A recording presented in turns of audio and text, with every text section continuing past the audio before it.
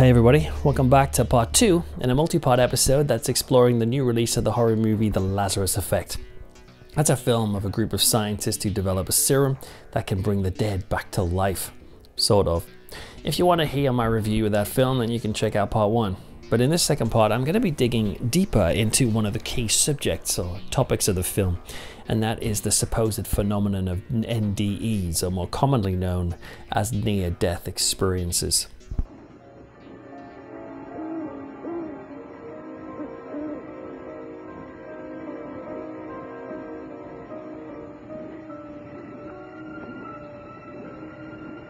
There are human beings here, in this hallowed ground. Their earthly bodies long since turned to dust. But what about their souls, their minds? Are they here too? You are about to see one of the most extraordinary films of our time. A movie that dares to investigate the possibility of life after death. Everything you will see is based on the scientific studies of parapsychologists and doctors, as well as on the testimony of real people who were pronounced dead, yet miraculously recovered, and lived to tell of their incredible journey. Sun Classic Pictures put out Beyond and Back in 1978 because they wanted to plug into the growing public interest in near death experiences. One of the key figures in bringing NDEs to the public consciousness was a man called Raymond A. Moody Jr. He wrote a book called Life After Life in 1975, and that book uh, is where we first hear the phrase near death experiences. And Moody and others like him were discovering a surprisingly regular pattern emerging where numbers of people who'd been very close to death, or indeed those who had been clinically dead for a short time, were reporting of having some sort of strange experience or vision during that time. And once um, Moody's book came out, citing a number of cases, many more people started to be interested and started looking into this phenomenon. Now, that's not to say that NDEs only started in the mid 1970s, of course. There were older and other reports of people who claimed to have such visions. For example, in 1944, the eminent psychiatrist Carl Jung had a heart attack, and it led to something that amazed him. In his autobiography, Memories, Dreams, Reflections, he claims to have found himself uh, when he had this heart attack, surrounded by light, and then he was whisked up to a position where he could view the Earth from above it of about a thousand miles. And then he went to describe his top down view of the Earth with spooky accuracy, considering that astronauts wouldn't physically view such an angle for another two decades. And he also spotted a huge meteorite floating next to him, which turned out to have connections with the Hindu temple of the Holy Tooth in Kandy in Ceylon. Now, it's a pretty intense experience by all accounts. But what's interesting is that Jung, who was, of course, an expert in the human brain and the powers of psychology, he insisted that this experience was both eternal and was real. Now, there's hordes of other people who've made similar claims that they've said that they've had some sort of vision of the afterlife. And while there are variations between accounts, there's plenty of variations, many of them have very similar characteristics. There's the sense of peace and leaving the body, maybe alongside a buzzing sound or a ringing. There's often an out of body experience moment where someone rises up and views their own body as doctors and nurses work over them, you know, the classic sort of idea. And then what tends to happen is that the person is drawn down a tunnel of light, and at the end of it, they meet relatives and friends long dead. And sometimes they even meet spiritual beings. I guess they might be angels or something. Now, they might even have that sense of their life flashing before them, which usually apparently happens very quickly. I guess it's like a showcase of all the most significant bits of your life, and it makes one wonder what the highlights of your own life would be if it were ever to happen to you. But while this new experience is often peaceful and awe inspiring, the subject of NDEs usually get told in some ways that it's not quite the right time for them to leave life itself and they return to their bodies. For Carl Jung, he said that he was there in the image of the doc- of his doctor floated up from the direction of Europe, thousand miles below him, and the doctor was now in what Jung calls his primal form and that he the doctor he'd known on earth had just been an avatar for this pure essence of him. And anyway without speaking the pure essence of this doctor communicates with him and says Jung it's not, not your time to go and you need to come back and, and, he, and he does and, and the experience was over. Now bear in mind that there's a lot of people who've had this similar experience. In fact According to Chambers' Dictionary of the Unexplained, in 1992 a poll was organized by Gallup who said that nearly 8 million Americans claimed they'd had an NDE, and in 2001 a report in The Lancet said that of the 344 patients in the test who'd been brought in the study who'd been brought back after a heart attack, 18% of them had experienced an NDE in more or less the classic form. So what's going on here? Well, many people just see it as straightforward absolute proof of the afterlife.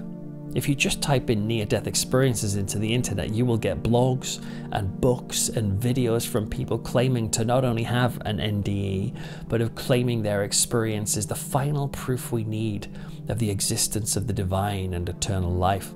For example, one video I saw claimed Jesus appeared to a Christian and a Muslim who had a near death experience, both of them, and they the person concluded therefore that this is cast iron proof that Jesus therefore exists and is alive today because he appeared to these people in a near death experience. Indeed, there's a recent book by Eben Alexander, MD, that was subtitled A Neurosurgeon's Journey into the Afterlife, but the main title is Proof of Heaven.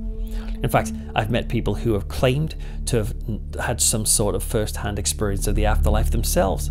Literally, just the other day, a couple of weeks ago, I was speaking in a church, and one of the congregation was chatting to me afterwards over a cup of tea, and we happened to get talking about the afterlife, as you do, and he said, Oh, I've seen it. And I was like, Pardon? And he described something that he said wasn't heaven or hell, but it was some realm between heaven and earth, which was, he was convinced was an actual place that he saw. Now, the reports from people like Carl Jung and others are certainly intriguing, but for some people, they are absolutely not proof of the afterlife. Even some Christians and theologians question the idea of NDEs, claiming that once people die, they don't come back, so they couldn't really report on it.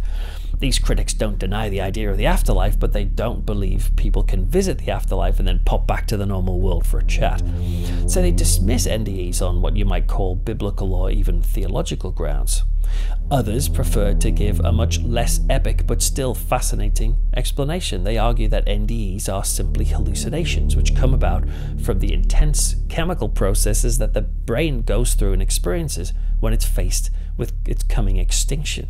In other words, your, your sturdy, reliable brain, in a last ditch attempt to help you cope with the depth of, of what you're experiencing, i.e., death, pumps out an intense psychedelic trip that helps reduce the physical and emotional pain of your own death. This is where the topic of dimethyltryptamine, or DMT, comes in, which I mentioned in the last episode. It's sort of like a final dream blast of the brain before it dies. Which is it? Well, I'm not sure. But to be honest with you, I think the hallucination theory seems quite sensible, especially because so many people seem to have, have context appropriate experiences. For example, the Christian near death experience is often filled with Christian imagery, and I've not heard of any sort of born again Christians who've had an NDE like Carl Jung did, you know, wandering through a Hindu temple perched on a meteorite a thousand feet above the earth. So to be honest, I am I'm a bit skeptical when I hear of books and films and things like that, which where people claim I have seen what is beyond death. I have visited heaven. I have seen hell.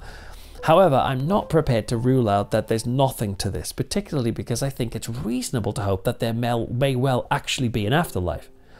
Which is one of the reasons why I believe in God, by the way, because I'm not ready to shut down the idea that life is purely flesh and blood and that alone. Now, gathering actual proof of near death experiences is one of those things that I think is very, very elusive and even if we were to experience one ourselves, I don't think we can rule out the DMT theory unless we can organize some sort of specific test that can object, be objectively assessed. Like the classic idea for this is that in hospitals, for example, there should be a series of numbers or a special message placed on the top of cupboards or high up in the emergency room so that anyone who happens to have an NDE can make a quick note of the code and then announce it to the doctors later when they come back. Um, now, there is a good logical intention to that approach, but it seems rather ambitious to me to expect someone who is literally having the mind bending experience of witnessing their own death from outside their own body to have the wherewithal to mentally jot down a series of numbers. However, while there isn't any lab conditioned tests that have I, I have heard being done to like evaluate the validity of an NDE, it's quite intriguing to hear eyewitness accounts from doctors and nurses who have said they've seen strange things in the operating theatre. Earlier, I trawled through the YouTube videos that included the term near death experience, and there is a lot of them. And I tried to avoid anything that seemed to be from a religious perspective or was trying to make a claim that NDEs proved one particular worldview. I wanted to basically find something a bit more neutral, and I found a video on a dentistry channel where a famous cardiac surgeon's being interviewed about, about his experiences of strange events in the operating room. And he tells the story of a man who was clinically dead yet returned um, half an hour later or something and gave details of the room that he couldn't possibly have known, apparently. And what I liked about this video was that it didn't appear, at least, to be pushing one particular religious view. It was just saying, we're professionals, this happened, and yes, it's weird and perhaps it opens the door to the possibility of there being some sort of spirit world, which to me I think is fascinating and, of course, quite an exciting prospect. Now, if you were to ask me, do I want NDEs to be true, then my answer is, well, I want life after death to be true, and I think it's reasonable to think it may well be true. Um, so that image of floating above the earth like Carl Jung and feeling that sense of moving to some superior realm is, in my opinion, a thoroughly attractive prospect in the face of death. And like I say, while I'm skeptical about many of the cases I hear about, I'm still not ready to rule every single one of them out. I guess I can find comfort, if that's the right word, that at some point I'm going to experience it myself. After all, it's guaranteed that every single one of us are going to have a near death experience.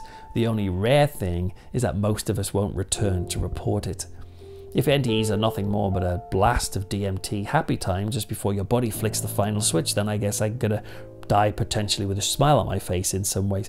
But if they really are a doorway into another realm, then I'll be the guy climbing onto that massive meteorite hanging in space and I'm gonna ride that sucker all the way to heaven. Well, that's it for the flicks the church forgot. Thank you for uh, listening. And remember, if you're up for it, I'd appreciate if you could subscribe below and follow me on Twitter, where I go by the name of at Rev Peter Laws. Oh, and you can also read my monthly horror column in the print magazine, The Fortean Times. But until then, thank you so much for listening or watching. And um, while I don't expect this show to feature on the final show reel of your life, for now at least, don't forget the flicks the church forgot.